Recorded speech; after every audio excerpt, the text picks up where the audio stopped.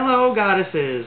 I'm back to show you the results of the pours that I did the other night.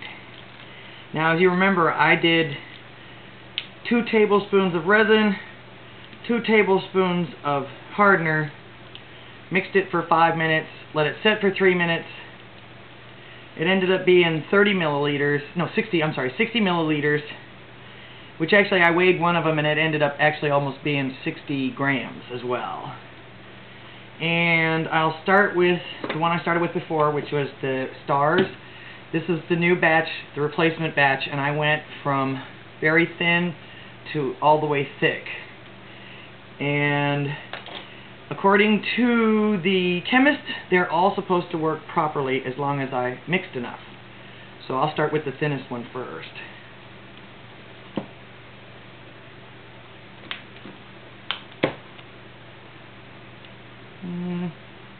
A little bendy, not real bendy. It's not as bad as it was before. But that's the thinnest one. The next thinnest one, or the next thickest one.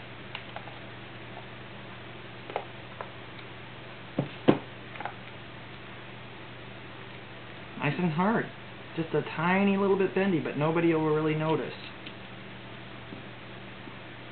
Uh, the next thickest one. This is just a cheap mold I got at like dollar store or something. It was for the American, the 4th of July celebration. It was an ice cube tray, but I figured for testing it's perfect. That's the second, and this is like totally hard. Totally hard. I put the blue down here so you could see these because they're all clear. So I would venture to say that the rest of these are going to be nice and hard, just like they're supposed to be. Ooh, broke a fingernail. Nice and hard. Yeah, very good. The replacement batch is a success.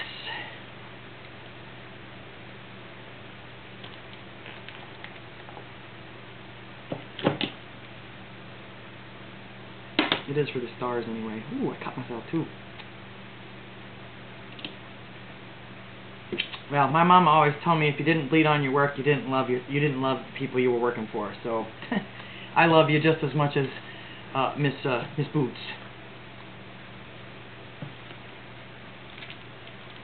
Of course, usually you bleed when you stick a needle in yourself.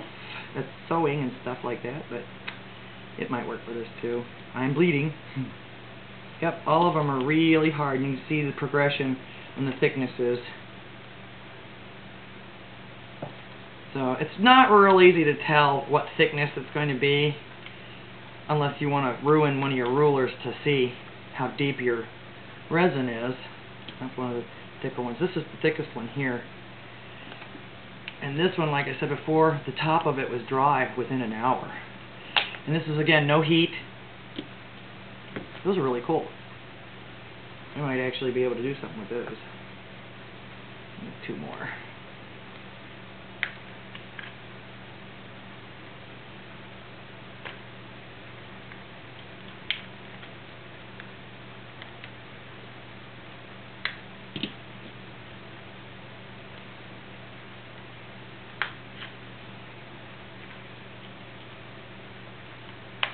So, new batch resin. Measured measured by volume. Except for the very last one, which is barely bendy. It's nice. It actually is nice and hard too. It's a little, like I say, it's a little bendy, but nothing like nothing like these were. Like nothing like my other ones were. So, replacement batch, 100% success. No heat, at least at least 60 millimeters or 60 milliliters is what I used for all of these. Next up was the rubber duckies. I did the exact same thing for all of them except for every other one. I heated the resin. So this one is two tablespoons of resin, two tablespoons of uh, hardener, stir it for five minutes, let it sit for three minutes, pour it. and this was the one that I heated the resin only, the new batch, the newest batch, replacement batch. This is the thickest, one of the thickest ones. Oh, he's cute. Hard as a rock. In fact, again, these were hard within 25 minutes yesterday.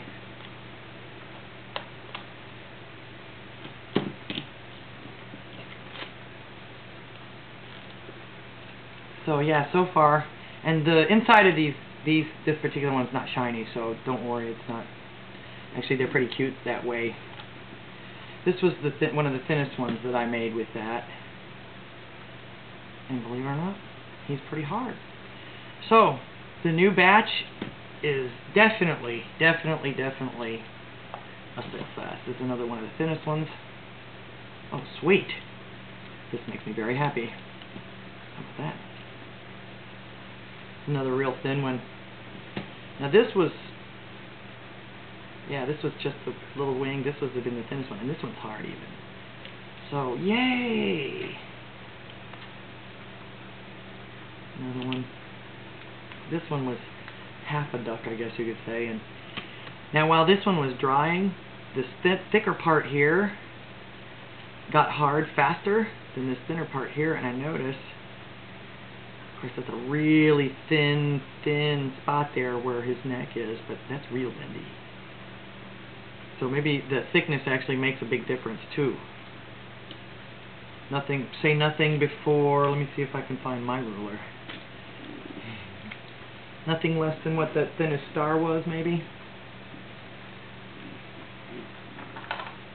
Ah, this one.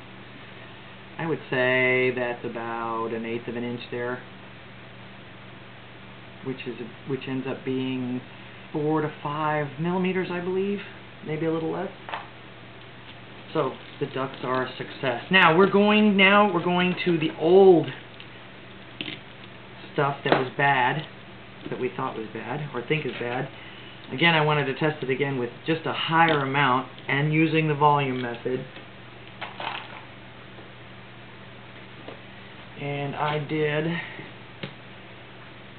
cool bullets. Another another um, dollar store find, I do believe. Maybe not. I thought the bullets were cool. I'm going to start you with the very thinnest one first. And you see, even though it seems to be at least a quarter of an inch thick, at least almost half an inch there, very bendy. Like I say, this is the old batch, no heat, same measurement two two tablespoons and two tablespoons, no heat. The thinnest one. Alright, let's try the thickest one. Since we know that one is bendy. This is all the way at the top. You see how thick it is.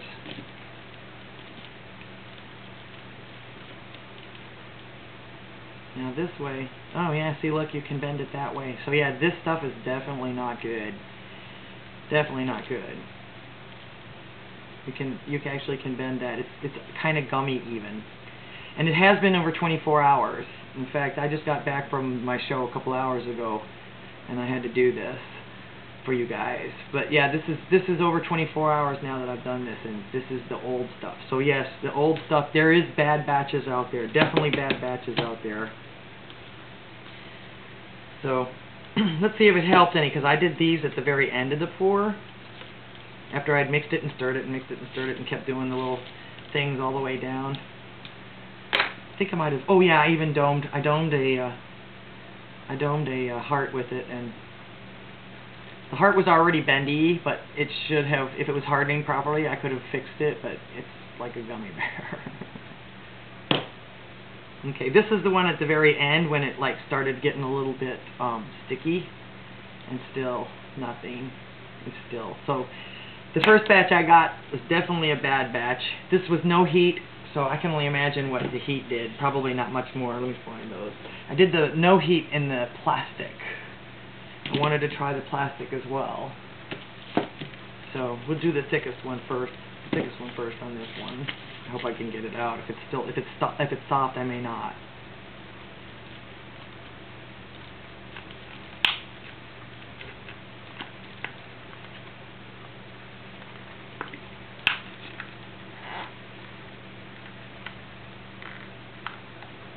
Goodness this plastic is soft.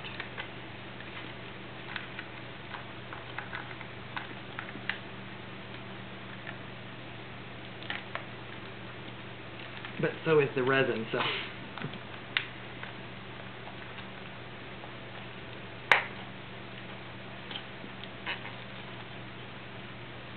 I've never had this much problems getting these out of here.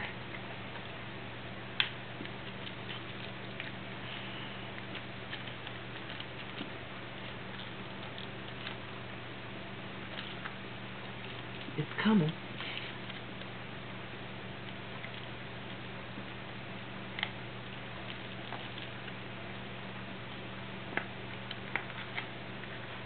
There we go. Okay.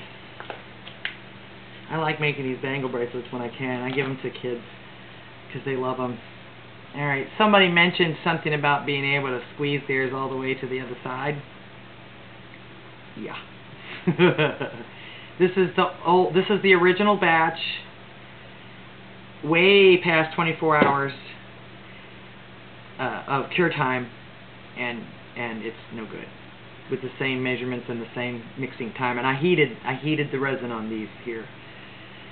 Okay, so I don't think anybody would want to wear that. Do you? And second thin, second thickest. I really I really adore this mold. In fact, it's going to be a part of my uh, going to be a part of my uh, um, benefit that I'm doing for animals.